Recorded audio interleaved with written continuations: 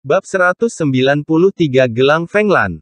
Kakak iparmu memiliki banyak perhiasan, tapi apa yang diberikan padamu secara alami adalah yang paling bagus. Kata Aden Ye, tidak mendongak dan melihat ke gelang giok di tangan Bertasu. Ini membuat Bertasu sedikit kecewa. Melihat sikap Aden Ye, Atina Ning juga tidak bisa tahan lagi. Dengan tidak senang dia berkata, Aden Ye. Berta sangat ingin kamu melihatnya, Kenapa kamu seperti ini? Oke oke oke. Aku akan melihatnya, bukankah ini sedang makan? Aden Ye selesai berbicara, juga meletakkan mangkuk nasi di tangannya dan melihat gelang giok dengan cahaya hijau redup di pergelangan tangan Bertasu. Saat melihat gelang giok ini, Aden Ye tercengang. Ekspresi juga membeku di sana, ekspresi beku tidak tahu apakah itu terkejut atau semacamnya. Kakak, ada apa denganmu? Berta Su terkejut dengan reaksi Aden Ye, dia belum pernah melihat Aden Ye seperti ini. Melihat gelang giok ini, pikiran Aden Ye dipenuhi gelombang badai. Dia tidak menyangka, masih bisa melihat gelang giok ini, ada di tempat seperti itu. Berta Su, kamu mengatakan ini diberikan kepadamu oleh kakak iparmu. Aden Ye memegang pergelangan tangan Berta Su. Dia pasti tidak akan salah, tampilan yang akrab ini. Ada juga fluktuasi familiar yang berasal darinya, ini adalah gelang Fenglan. Ya, ada apa? Berta Su tidak mengerti. Ada apa dengan gelang ini sebenarnya? Atina, dari mana asal gelang ini? Aden Ye menatap Atina Ning. Dia harus tahu jawabannya, karena itu sangat penting baginya. Bibi Tu juga melihat gelang di pergelangan tangan Berta Su. Meskipun dia tidak tahu mengapa Aden Ye memiliki reaksi yang begitu tiba-tiba, Bibi Tu bisa merasakan ada fluktuasi yang sangat kuat di gelang di pergelangan tangan Bertasu, tetapi Bibi Tu tidak tahu persis apa fluktuasi ini. Apa hubungannya ini denganmu? Meskipun Atina Ning tidak tahu mengapa Aden Ye memiliki reaksi yang begitu besar, dia tidak menyukai nada bertanya Aden Ye, jadi dia tidak berencana untuk memberi tahu Aden Ye. Kakak, ada apa denganmu? Berta Su bertanya dengan cemas, bahkan jika gelang giok ini sangat indah, itu tidak akan menyebabkan reaksi Aden Ye begitu besar. Aden Ye menggelengkan kepalanya, tidak terus bertanya pada Atina Ning tapi berkata, Berta Su, bisakah kamu melepas gelang ini dan menunjukkannya padaku? Aden Ye hanya ingin memastikan apakah dia salah atau tidak, meskipun dia hampir bisa memastikannya, Aden Ye masih tidak memiliki kepercayaan penuh tanpa memegangnya di tangannya. Okel. Berta Su dengan cepat melepas gelang giok itu dan menyerahkannya pada Aden Ye. Meskipun Atina Ning enggan, tetapi tidak mengatakan apa pun. Wang. Saat Aden Ye mengambil alih gelang itu, cahaya hijau asli pada gelang itu berubah menjadi warna keemasan yang menyilaukan. Cahaya keemasan yang merembes dari cahaya hijau ini penuh dengan keajaiban. Atina Ning terpana, sudah hampir empat tahun sejak gelang ini ada di tangannya.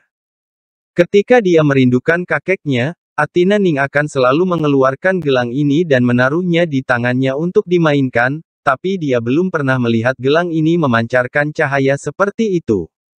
Aden Ye akhirnya yakin sekarang bahwa ini adalah gelang Fenglan, hadiah yang dia berikan secara pribadi kepada orang yang telah meninggalkannya.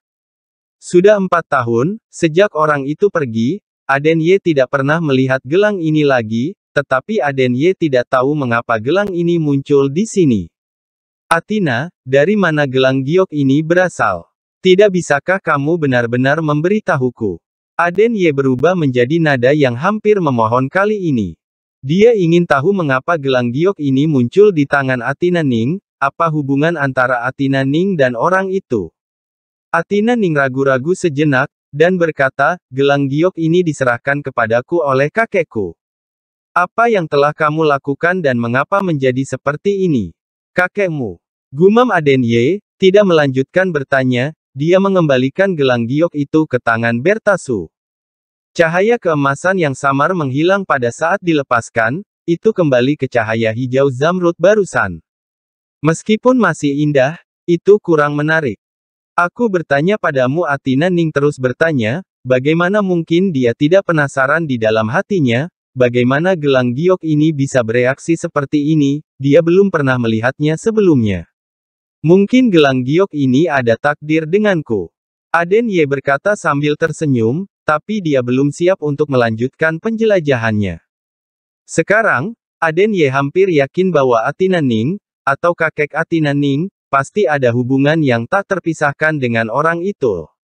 Setelah Aden Ye selesai berbicara, dia menoleh dan berkata kepada Bertasu, Bertasu, pakai gelang ini dengan baik, jangan lepaskan, ini bisa melindungi keselamatanmu. Setelah berbicara, Aden Ye berdiri dan naik ke atas, hanya menyisakan tiga orang di atas meja makan yang bingung. Kakak ipar, karena ini adalah benda yang diberikan kakekmu, bagaimana aku bisa menerimanya? Bertasu lebih ragu sekarang, karena gelang giok ini lebih dari sekedar pertanyaan tentang harga, di atasnya, ada nilai tambah, ini yang paling berharga. Bertasu, kamu tidak mendengarkan aku atau kakakmu. Bukankah dia membiarkanmu mengenakannya? Atina Ning selesai berbicara, tetapi bertanya-tanya mengapa, mengapa Aden Ye begitu terkejut dengan gelang giok ini, nostalgia di matanya tidak bisa dibuat-buat. Mungkinkah Aden Ye ada hubungannya dengan gelang giok ini sebelumnya? Atina Ning berpikir sendiri, tetapi dia dengan cepat menyangkal tebakannya, gelang giok ini adalah barang kesayangan kakeknya, bagaimana mungkin ada hubungannya dengan Aden Ye? Bibi tuh fokus makan, tapi hatinya juga bingung, benda yang bisa membuat Aden Ye bereaksi sebesar itu, pasti bukan benda biasa. Aden Ye kembali ke kamar, mengingat sedikit demi sedikit ingatan di benaknya, dia yakin bahwa dia tidak salah lihat, dia tidak percaya bahwa ada gelang Fenglan kedua di dunia ini. Serangkaian pertanyaan muncul di benak Aden Ye, tetapi Aden Ye tidak dapat memilah pertanyaan-pertanyaan ini menjadi garis lurus. Jika kakek Atina Ning masih hidup, dia mungkin bisa memberi tahu Aden Ye apa keseluruhan ceritanya, tetapi Aden Ye bisa melihat, bahwa Atina Ning tidak tahu apa-apa. Carol, aku sangat berharap, kamu masih ada. Masalah gelang Fenglan berhenti, keesokan harinya, tidak ada yang menyebutkannya lagi. Aden Ye juga kembali normal, Atina Ning tidak bertanya lagi, seolah semua orang telah melupakan kejadian ini. Aden Ye menerima telepon dari Paulo Lu dalam perjalanan ke tempat kerja setelah mengantar Berta Su ke sekolah. Halo, ada apa? Aden Ye tahu bahwa jika Paulo Lu menelponnya, pasti ada sesuatu yang penting. Bab 194 Dragon Nationality. Aden Ye, apa yang kamu minta untuk aku selidiki sebelumnya? Masalah grup Longting sudah memiliki penemuan. Persis seperti yang kamu katakan. Organisasi ini tidak sesederhana kelihatannya. Kata-kata Paulo Lu agak sedikit serius. Bagaimana situasinya? Aden Ye bertanya, apa yang dikatakan Paulo Lu sudah ada penemuan. Pada dasarnya, masalah ini telah dipecahkan sepenuhnya. Setelah Aden Ye mengaturnya kepada Paulo Lu, dia tidak terlalu peduli. Narnun, Paulo Lu menelepon secara khusus untuk membicarakan masalah ini, dan pasti ada beberapa masalah. Ketua grup Longting. Dia dipanggil Leo Long, sekarang berada di kota Nanhai, Beberapa tahun yang lalu dia memasuki keluarga Lin sebagai pengurus keluarga Lin. Tapi identitas ini pasti hanya sebuah kedok, adapun apa yang ada di antara keluarga Lin dan grup Longting, kita tidak bisa menyelidikinya. Kata Paulo Lu. Aden Ye secara alami tahu bahwa Leo Long ini adalah ayah Rian. Dia adalah Tuan Long, yang menelpon dirinya, tapi Aden Ye lebih penasaran mengenai kekuatan seperti apa yang berada di balik grup Longting ini.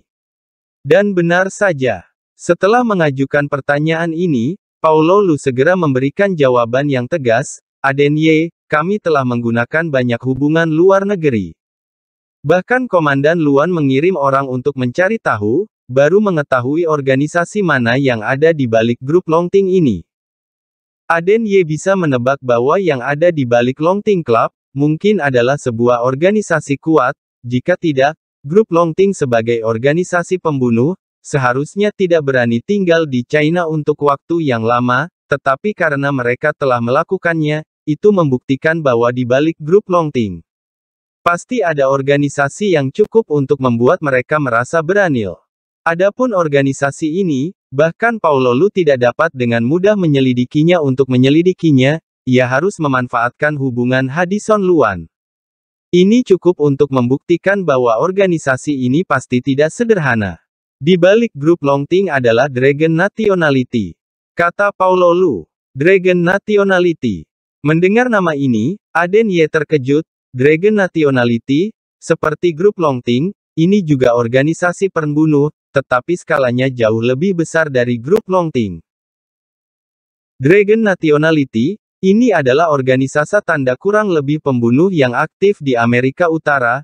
Dari segi reputasi, ini hampir sama dengan Grim Reaper tempat Aden Ye pernah berada, tetapi karena kedua organisasi ini berlokasi di Eropa Barat dan yang lainnya di Amerika Utara, dan kedua belah pihak memiliki ketakutan satu sama lain, jadi belum pernah bermain melawan satu sama lain, jadi tidak ada yang tahu kekuatan spesifik dari dua organisasi pembunuh Grim Reaper di Eropa Barat dan Dragon Nationality di Amerika Utara, mana yang lebih kuat.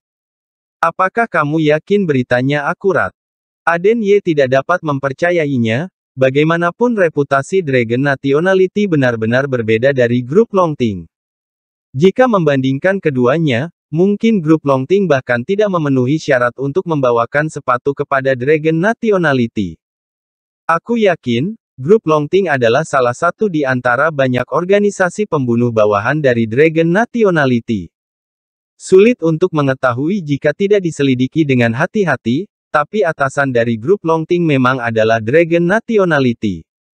Paulo Lu berkata dengan tegas. Grup Longting bisa berada di Tiongkok, Apakah itu juga perintah dari Dragon Nationality? Aden Ye bertanya, jika ini benar-benar masalahnya, maka pertanyaan ini sedikit lebih sulit. Kami tidak akan dapat menyelidiki ini, kamu tahu bahwa dengan kontak kita saat ini kemampuan untuk menemukan hal-hal ini sudah mencapai batasnya jika ingin menjelajahi informasi internal Dragon Nationality, kecuali, Paulo Lu tidak melanjutkan, tetapi Aden Ye tahu apa yang ingin dikatakan Paulo Lu selanjutnya. Maksudmu mengatakan bahwa hanya jika aku masih di Grim Reaper, baru bisa memiliki kesempatan untuk menemukannya, kan? Kata Aden Ye. Paulo Lu menyetujui kata-kata Aden Ye, dan kemudian berkata, meskipun kita tidak dapat menyelidiki sekarang, kami belum menghentikan penyelidikan tentang Dragon Nationality setelah ada hasilnya, aku akan memberi taumu sesegera mungkin. Okel aku mengerti Aden Ye menutup telepon, masalah ini tidak perlu terburu-buru menyelidiki hasilnya, tetapi jika grup Longting adalah organisasi yang dikirim Dragon Nationality ke China, apa tujuan mereka? Untuk organisasi ini, Aden Ye benar-benar tahu terlalu sedikit, tetapi Aden Ye berpikir bahwa seseorang mungkin mengetahuinya dengan baik. Aden Ye membalikkan mobil, tidak langsung pergi ke perusahaan, tetapi pergi ke Ramen Zengji. Xavier Zeng adalah seorang pembunuh yang aktif di Amerika Utara, mengenal organisasi Dragon Nationality pembunuh nomor satu di Amerika, dia pasti tahu lebih banyak daripada Aden Ye. Aden Ye menghentikan mobil, Melihat Xavier Zeng berjongkok di depan toko sedang menusuk sate, jadi dia berjalan mendekat dan menepuk bahu Xavier Zeng. Siapa tahu, setelah Xavier Zeng menoleh dan melihat bahwa itu adalah Aden Ye, dia terus melemparkan tusuk daging ke dalam baskom, menunjuk ke hidung Aden Ye dan berteriak, kamu masih berani untuk datang. Aden Ye dibuat bingung oleh reaksi Xavier Zeng, berkata, mengapa aku tidak berani datang? Kamu tunggu. Kamu tunggu aku. Xavier Zeng selesai berbicara, berjalan ke restoran, dengan cepat keluar, selembar kertas panjang dilemparkan ke tangan Aden Ye, dia berteriak, lihat sendiri, lihatlah baik-baik. Aden Ye mengambil kertas itu dan melihatnya, itu adalah tagihan farmasi setumpuk angka padat yang dijumlahkan, berjumlah lebih dari 20.000 RMB. Ada apa? Aden Ye menemukan bahwa barang-barang di atas adalah bahan obat Tiongkok yang diminta Gerson untuk disiapkan, tetapi Aden Ye tidak mengerti mengapa Xavier Zeng begitu marah. Ada apa? Apakah masih berani bertanya padaku ada apa? Tahukah kamu, bahwa aku di sini dalam angin dan hujan, bekerja lembur setiap hari untuk memanggang ramen tusuk sate. Ibuku hanya memberiku 2000 RMB sebulan, 2000 RMB. Aku bekerja sangat keras untuk menghemat gaji satu tahun, tetapi semuanya telah dihabiskan olehmu, aku tidak peduli, kamu harus mengembalikan uangku. Xavier Zeng duduk bersila di kursi dengan pandangan ketidaksenangan. Aden Ye tercengang dengan tingkah Xavier Zeng, dengan kemampuan Xavier Zeng jangankan 20.000 RMB, bahkan mendapatkan 200 juta RMB, tidak akan sulit, bukan? Hanya saja Xavier Zeng suka bercanda, mungkin tidak akan bisa mengubahnya. Aden Ye menggelengkan kepalanya tanpa daya, kemudian merobek tagihan itu berkeping-keping. Hei hei, apa maksudmu? Tidak ingin membayar, biarkan aku memberitahumu. Jika kamu tidak membayarnya hari ini, kamu tidak akan bisa pergi, tidak tahu. Xavier Zeng terus berpura-pura menjadi sangat marah dan berkata, Oke, jangan membuat masalah, aku menikarimu hari ini, ada urusan penting yang ingin aku tanyakan, aku masih harus pergi bekerja nanti. Bagaimana bisa punya waktu untuk berbicara omong kosong denganmu di sini? Kata Aden Ye tidak sabar. Urusan penting. Kamu mencariku ada urusan penting apa? Tanya Xavier Zeng. Aku bertanya kepadamu, apakah kamu tahu Dragon Nationality? Bab 195 9 Anak Naga. Setelah mendengarkan pertanyaan Aden Ye, Xavier Zeng memandang Aden Ye dengan tatapan aneh, lalu berkata, kamu mengatakan perkataan ini khusus untuk membuatku meragukan IQ-mu. Seperti aku bertanya apakah kamu tahu Grim Reaper atau tidak. Pertanyaan cacat mental seperti ini, kamu bahkan bisa menanyakannya. Perkataan Xavier Zeng membuat Aden Ye sedikit terkejut, maksudmu, kamu berasal dari Dragon Nationality. Tahun itu, sebelum Aden Ye memburu Xavier Zeng. Dia juga melakukan penyelidikan yang sangat rincin pada tangan giok putih yang terkenal ini, dia juga mencurigainya saat itu. Xavier Zeng adalah anggota Dragon Nationality. Jika demikian, dia mungkin juga merasa takut. Karena pada saat itu, organisasi tidak mau berkonflik dengan Dragon Nationality, dan kemudian karena ditemukan bahwa Xavier Zeng tidak ada hubungannya dengan Dragon Nationality. Aden Ye baru memilih turun tangan, tetapi sekarang, apa arti kata-kata Xavier Zeng? Itu tidak benar. Aku terbiasa bebas, jadi aku tidak akan menemukan organisasi untuk menahan diri sepertimu. Namun, ketika kekurangan uang, aku akan membantu Dragon Nationality melakukan beberapa tugas santai, jadi, meskipun demikian bukan termasuk orang di dalamnya, tapi bagaimanapun juga itu bisa dianggap agak terkait. Kata Xavier Zeng. Ternyata seperti itu. Kekuatan organisasi ini bagaimana jika dibandingkan dengan Grim Reaper? Aden Ye terus bertanya. Mengenai ini, kedua organisasi itu terpisah satu sama lain. Aku tidak bisa benar-benar mengatakan seberapa kuat mereka. Namun, di Dragon Nationality, ada juga ada keberadaan yang mirip dengan 10 master di kalian, tetapi namanya berbeda. Pemimpin mereka terutama didasarkan pada urutan sembilan anak naga. Kata Xavier Zeng. Apakah seperti Qiyuniu, Yazi, Bian, Suanni, Tao Tai, Jiao Tu, Bisi, Ciwen, Pisiu? Tanya Aden Ye. Xavier Zeng mengangguk dan berkata, ya. Selain sembilan orang ini, Dragon pemimpin sejati Dragon Nationality adalah orang dengan nama Sandi Dragon King, orang ini selalu menjadi pemimpin di balik Dragon Nationality, tidak ada yang tahu seperti kekuatannya, tapi sepertinya itu juga sangat kuat. Lalu bagaimana kekuatanmu dibandingkan dengan orang-orang ini? Aden Ye bertanya, kekuatan Xavier Zeng sama dengan dia, jadi hanya jika mengetahui urutan Xavier Zeng di antara sembilan naga ini berada pada tingkat mana, maka akan tahu kekuatan organisasi ini. Ini. Aku agak malu untuk mengatakannya, di antara mereka aku hanya bertarung melawan Qiyuniu, tapi anak itu benar-benar sedikit kuat. Saat aku bertarung dengannya lima tahun lalu, dia sudah menyentuh tingkat peri, di saat itu, aku bukan lawannya Xavier Zeng berkata dengan sedikit kengganan. Satu-satunya kegagalan dalam hidupnya adalah ketika dia dikalahkan oleh Qiyuniu, dan sekali lagi, hasil imbang dengan Aden Ye. Hanya saja Xavier Zeng tidak mengerti mengapa dia dan Qiu tidak merasakan hak cocok seperti dengan Aden Ye. Menurut kata-kata Xavier Zeng, Aden Ye menyimpulkan bahwa kekuatan kedua organisasi ini kira-kira sama, tapi tidak tahu apakah Dragon King pemimpin Dragon Nationality, dengan Master Sen siapa yang lebih kuat. Hale kenapa kamu tiba-tiba bertanya tentang Dragon Nationality padaku? Apakah mereka juga mengganggumu? Xavier Zeng bertanya dengan bingung, dia belum pernah mendengar ada orang yang berani menjadi musuh dua organisasi pembunuh besar pada saat yang sama, jika Aden Ye kebetulan melakukan ini, itu akan dianggap sejarah. Aden Ye menggelengkan kepalanya, kemudian memberitahu Xavier Zeng tentang insiden grup Longting, tetapi dia mengatakannya secara umum, tidak menyebutkan Atina Ning. Grup Longting. Aku belum pernah mendengarnya. Kapan Dragon Nationality membesarkan organisasi sekecil itu? Xavier Zeng berkata dengan tidak percaya.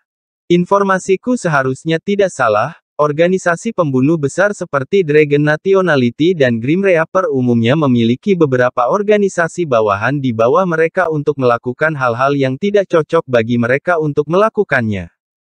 Kata Aden Ye, dia tahu bahwa di bawah Grim Reaper, ada lusinan kecil organisasi di bawah kendalinya. Jika dia menyimpulkan dari ini, Dragon Nationality seharusnya seperti ini juga. Aku tahu ini. Aku juga tahu bahwa ada banyak organisasi kecil di bawah Dragon Nationality, tapi yang paling kecil, pemimpin setidaknya harus berada di tingkat sihir. Seorang bocah tingkat agung bisa menjadi organisasi kuat pertama, Dragon Nationality bagaimana bisa menginginkannya. Bukannya Xavier Zeng tidak percaya pada kata-kata Aden Ye, tapi ini terdengar terlalu sedikit omong kosong. Aku tidak tahu tentang ini, bagaimanapun apa yang dikatakan di informasi seperti itu, aku sebenarnya ingin bertanya kepadamu, jika situasinya benar, maka bahkan Dragon Nationality perlu mengirim seseorang, apa yang akan terjadi? Apa yang dikhawatirkan Aden Ye sekarang adalah jika grup Longting adalah organisasi yang diletakkan Dragon Nationality di kota Nanhai. Kalau begitu, bukankah dia benar-benar musuh dari dua organisasi pada saat yang sama? Lebih penting lagi, apa tujuan sebenarnya dari grup Langting? Xavier Zeng berpikir sejenak, dan berkata, Aku tidak bisa membicarakan hal ini dengan pasti tapi aku kira itu seharusnya tidak menjadi masalah yang sangat penting. Jika tidak, bukankah akan lebih pasti jika Dragon Nationality mengirim yang kuat dalam organisasi? Aden Ye merasa bahwa apa yang dikatakan Xavier Zeng juga masuk akal. Jika benar-benar ada sesuatu yang sangat penting, Dragon Nationality pasti tidak hanya akan menggantungkan harapannya pada organisasi kecil seperti grup Longting, mereka akan mengirim orang yang kuat seperti tingkat langit, masalah apa yang tidak bisa diselesaikan.